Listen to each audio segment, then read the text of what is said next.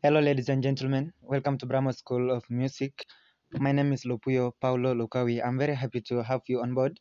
Today, I'm going to teach you Maestro Music Composer app, how to use it.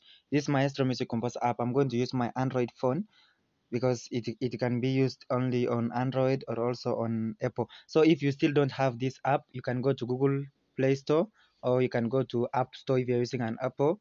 So you can just write Maestro and it will just show you and it will give you the Maestro which has this this clef, the G clef. It can also have the there is also the one which has the, the G clef. All are working. So I can press that Maestro app and we go. This is how when you open it, it looks like this Maestro the, the next generation of music yeah something like that and then it shows you something very new like this uh, here in this app here we are seeing the there's the stuff there's the g clef there's the time signature which is 4 4 that's the time signature that you start with. So uh, on the left hand side on the top left hand side there's the first column there. There's the sign for for the this sign blue sign for settings. You press it it shows black and below it is file. So you press that file.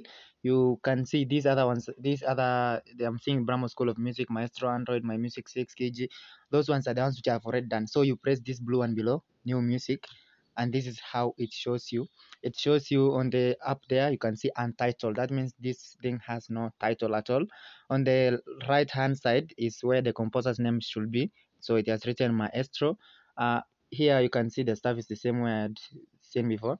There's the acoustic grand piano is the instrument that the, the initial or the default instrument, which is just by default. Everything here is by default. The tempo there is 120, the crotchet takes 120, and it's allegretto. Um, this is basically how it looks like. So first, first of all, we want to to write to put this thing to be ours to customize it. So we are going to press the untitled but where it's written untitled. You touch that untitled, and then the file name there you write what you want to do i can write i can write maestro android i think that's the best maestro android or let me write maestro tutorial tutorial uh -huh. yeah i've written that way then I have to write the title of this that was just the file name so that it can be easy for us to search it um, I can write what in the title I can write Bramo School of Music Bramo School of Music I can write there Bramo School of Music. You are seeing the way I'm writing. That's Bramo School of Music. Now the title, the subtitle, you can write something on the subtitle as well. Let me write maybe I can write um tutorial as well. I'm writing tutorial. That's how. Then the other, it is written there by default Maestro, but you you are supposed to write your name. So I'm called Paulo. Let me write my name because I'm called Paulo. It's there um I this tempo is too much 120 I can take it to let's say 80 the time signature here is 44 you can still change it to 48 to 42 let me put 24 that is the simplest eh? I'm not choosing for you what I'm choosing so that you see how it can be chosen. After all that you can now come and press done. On the left hand below on the left hand side there's the blue stuff. It's written done. That one now will take you back to where you are you are you were before.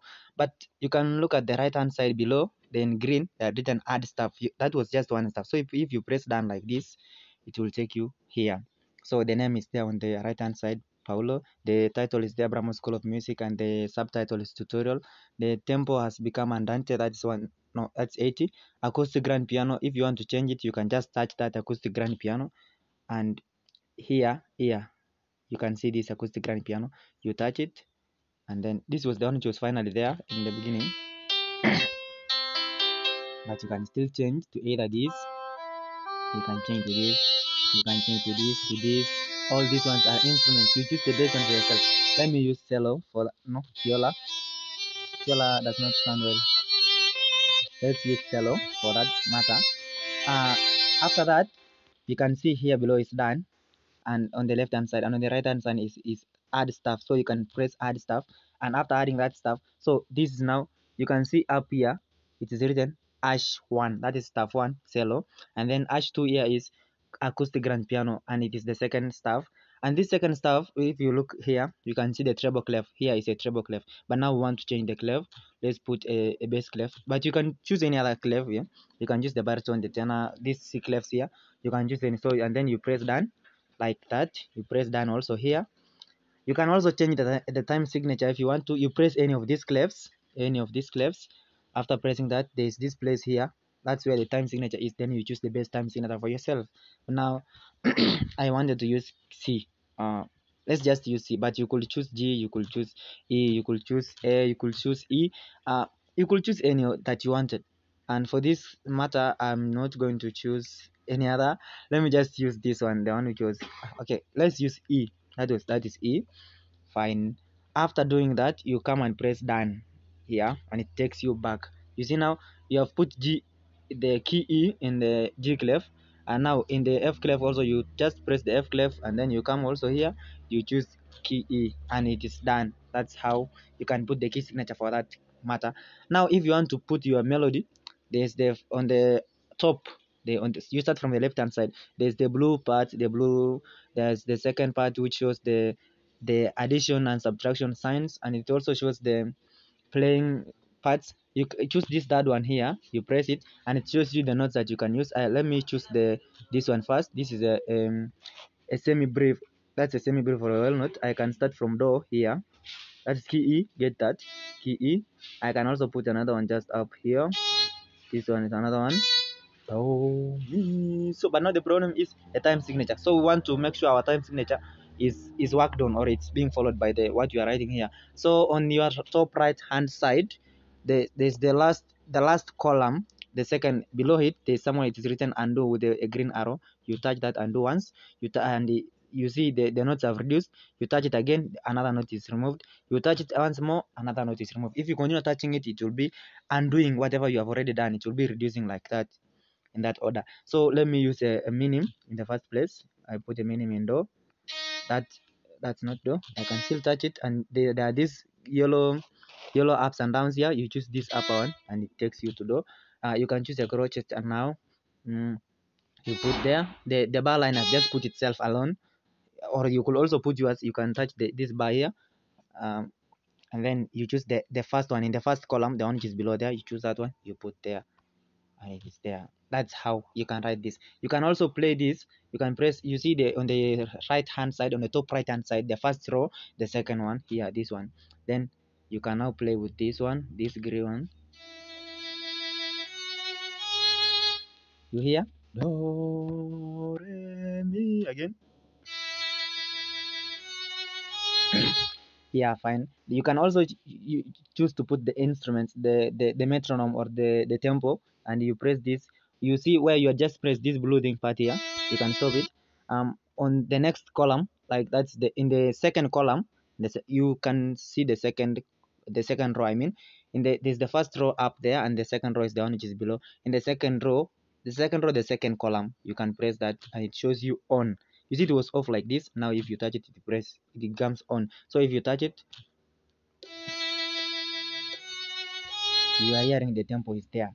That's fine. That's how you can write that. You can also harmonize. You can write on the bass side. You can still put something on the bass side if you want to. That's like let's say do that was do this is let's put here me. Oh wait let's put yeah me can be good. I love in the alto side we can put so. That is so. Uh, we can also separate them. You can put like this and you choose the layer part here. Yeah but this one has gone far. You can remove it here. You can still put this this one. You make sure it is it is on the same place so it matches. It can be put like together like that or you can touch it and then you see there's somewhere written merge and somewhere written layer. So you choose layer if you want to separate them and it becomes like that. Which is still correct you can remove this one bar here one bar line. Yeah this one is it can suggest for you that it it needs a rest and you you put it if you want to. Um i want to take you to settings of this thing look on, on the right hand side this part of settings you press it and then you follow the second you leave the first row follow the second column. If you follow the second column the second last this one here is written settings. So after pressing it it takes you first to system. This is the system how it looks like. You can decide to put the drawing bar line by yourself manually or you can put auto. It was auto that's why when i finished putting the minimum it just generated the bar line itself without doing anything. You can decide because when you start to play there is that cursor which moves along the notes as you play. So you can decide to put them to loop like this like when you're playing it it plays until when it goes it reaches somewhere and when you're supposed to repeat it it comes back again to, to repeat it. Or you can make it to pass once like this um but looping is the best. Magnify is like if you want to um instruments or these things that these numbers that are here to be magnified if you want them to be larger if you want them to be smaller if you want them not even to appear you choose off the, the playback cursor is here also. Uh, it can also be used to play only on the fast stuff. Uh, it can be played it can be playing with the shorter notes only. It can be for the whole measure and it just shows it in the whole measure and it plays. You can choose any. Here is the keyboard keys. When you are playing the keyboard keys are shown. It can either be c4 only c only all c's all keys. You can decide to hide all but all keys are the best. You can show all. You can decide to use a dark mode or a, a, white mode. I think the white mode is better. This is the screen direction. You can choose any. I decided to choose this one the first one here. I don't want to to use the other one. If i use the other one it will disorganize the work at the moment. But you can still choose it. You can use the any language that you want. English german korean portuguese spanish any other language that is here. You just choose. This is english. I don't want to change to another one. Metronome can be click can be triangle. I i used bongo because it does not make any noise. Generally there there's spacing here. If you want the the spacing of your notes to be default like this somehow large minimum this one is too small squeezed it can be a pro it can bring a problem using the when you are writing the lyrics. You can also put manually the space but i like the default uh the staff gap is also here. You can decide to put a very long a narrow staff gap like the first one here the small one which brings the the staffs closer. This one at least extends a bit this one extends wider and this one extends very very wide which is not good. I think default is the better or the narrow one for me. You can also have your own way.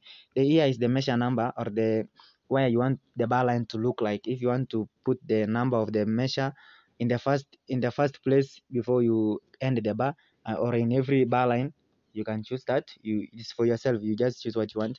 Here are the symbols. Uh, those ones are up there. You can choose your text here. You can put allegretto if you want to if you can you can put the tempo which is already there in the stuff and the, you add your own text.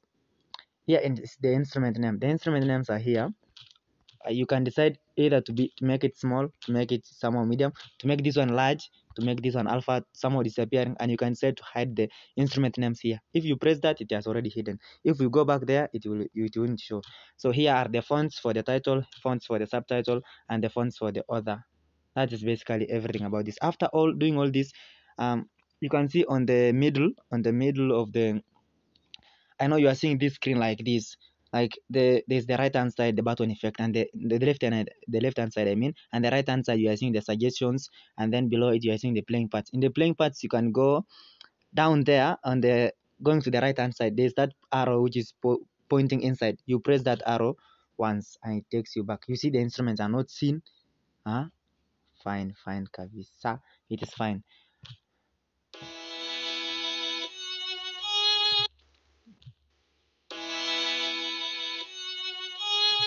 can decide to use that one. You can still add more. I'm just putting notes randomly.